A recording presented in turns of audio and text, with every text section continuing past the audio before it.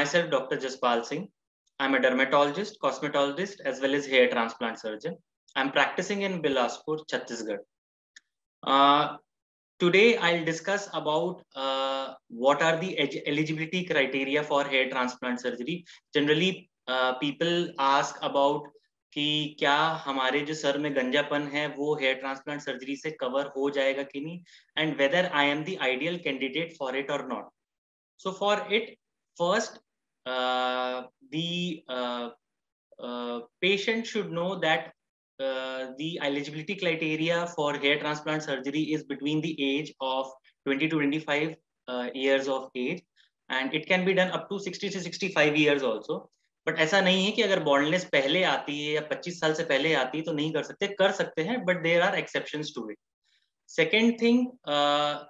अगर बॉल्डनेस का एरिया अगर आपका छोटा है तो हेयर ट्रांसप्लांट सर्जरी के जो रिज़ल्ट है, वो ज़्यादा बेटर आते हैं। थर्ड थिंग अगर आपकी एक्सपेक्टेशन बहुत ज़्यादा है हेयर ट्रांसप्लांट सर्जरी से then you should not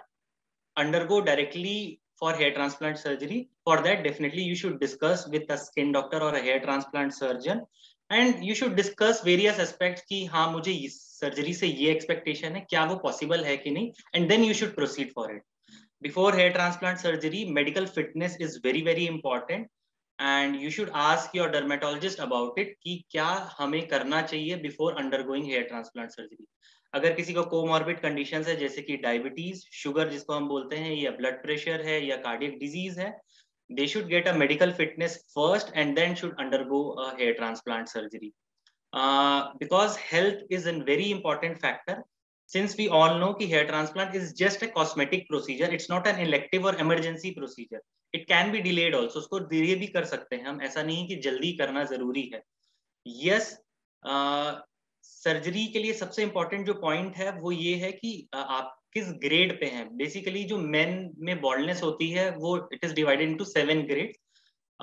जितना ज़्यादा आपका ग्रेड बढ़ता जाता है, यानी कि बॉल्डनेस उतना ज़्यादा बढ़ते जाता है। उतना ही ज़्यादा डिफ़िकल्ट होता है for a surgeon to go for hair transplant surgery as well as to give you the optimal result so it's better you should plan it as soon as possible but under the supervision of a dermatologist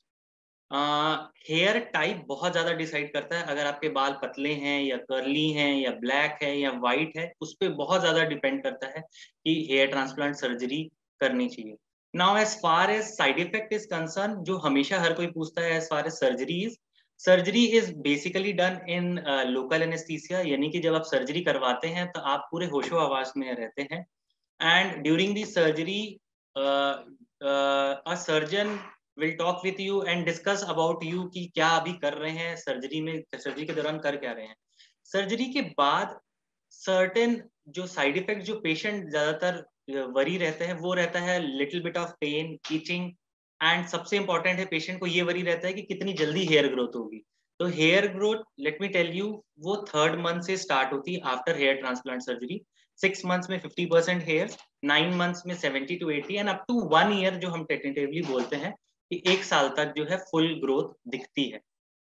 hair transplant surgery basically होता यह है कि आपका जो गंजा area यानी कि bold area है, उस जगह में हम आपके जो नेचुरल खुद के जो आपके हेयर रूट्स होते हैं, वो हम डोनर एरिया यानी कि वो एरिया जहाँ पर हेयर रूट्स परमानेंटली प्रेजेंट रहते हैं, वहाँ से निकाल के हम बॉल्ड एरिया में इम्प्लांट करते हैं। सो इट्स लाइक जैसे अगर हम खेत में जा रहे हैं, खेत में अगर हम बीज डाल रहे हैं तो that is what a hair transplant surgeon do okay and after hair transplant जो है, वो आपको कुछ प्रिकॉशंस कुछ मेडिकेशंस बताते हैं ताकि आपके जो पहले के हेयर्स हैं, वो भी साथ में ग्रो हो जाए।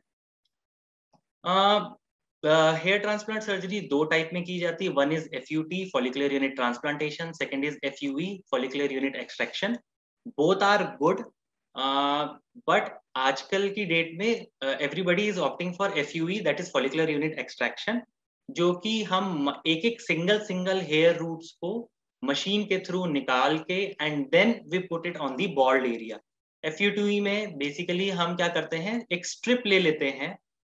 बैक ऑफ़ दी स्कैल की एरिया से, जहाँ पर हेयर्स खूब ज़्यादा होते हैं डेंसिटी में and we extract it and then we implant the hairs on the bald area but दोनों के इफ़ एंड बर्ड्स हैं स्कार्स दोनों में बनते हैं बट एफ़ में स्कार्स जो हैं वो छोटे बनते हैं। एक बार जो हेयर रूट्स हम डोनर एरिया से जो निकाल देते हैं, वहाँ पर हेयर्स दोबारा रीग्रो नहीं होते हैं बट ये हमारा ही काम है कि हम सिलेक्टिवली इस तरीके से निकालते हैं कि ना आपका डोनर एरिया बॉल्ड लगे एंड ना ही आपका रेसिपिएंट एरिया जहाँ पर हम बाल उगाना चाह रहे हैं, वो बॉल्ड लगे। So this is basically what hair transplant surgery is and before going hair transplant surgery, you should always consult a expert thank you